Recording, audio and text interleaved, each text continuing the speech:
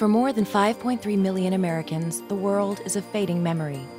UCI Mind has become a leader in the fight against Alzheimer's and other neurological disorders in Orange County. The university is very proud of the leadership role that UCI Mind is taking in the fight against Alzheimer's disease and other neurological diseases here in Orange County. The mission of UCI Mind is to advance research into Alzheimer's disease and related neurological conditions. Alzheimer's has become the leading cause of dementia amongst the elderly, resulting in severe memory loss. Currently, someone develops the disease every 70 seconds. Since opening its doors in 1989, the UCI Mind Clinic serves as a well recognized diagnostic memory assessment clinic, helping approximately 400 patients and families per year with early diagnosis and detection, early treatment, and resources to help families through comprehensive memory evaluations. The UCI Mind Clinic is one of the premier assessment centers in Southern California.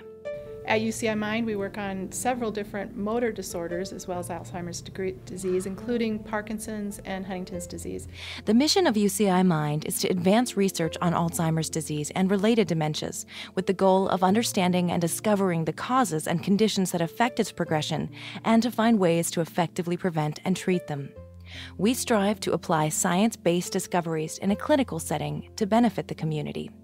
One of the main factors that we have identified is mental stimulation. Basically, if you use your mind, you're going to reduce your risk of developing Alzheimer's disease. We would recommend games of Sudoku, bridge, chess, learning a foreign language, something like that. And the more you use your brain, the more likely you are to stave off Alzheimer's disease.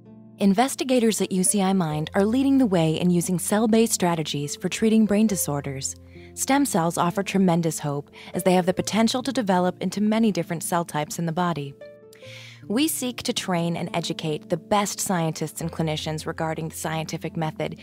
About a year ago, we started a new student society called Remind Research and Education in Memory Impairments and Neurological Disorders.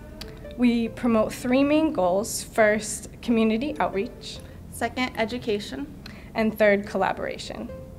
The goal of this is to bring all of these different elements together in order to form a stronger student group involved in neurodegenerative diseases. Research conducted in UCI Mind laboratories demonstrate that neural stem cells are able to rescue the age-related cognitive deficits associated with the development of Alzheimer's disease and are pioneering the efforts to use stem cells as a treatment strategy for human patients. Few illnesses disrupt the quality of life as much as dementia. To meet the rising number of dementia cases over the next 20 years, we seek to build a world class research and clinical center for Orange County. UCI Mind faculty are internationally recognized for their efforts in research and clinical care for Alzheimer's disease. So, this is the right institute, the right faculty, and it's the right opportunity given the epidemic of Alzheimer's disease that we're facing. All of that combined makes UCI the right university to lead the battle against Alzheimer's disease. Not only do we seek to add years to life, but also life to years, allowing individuals to age successfully and with dignity.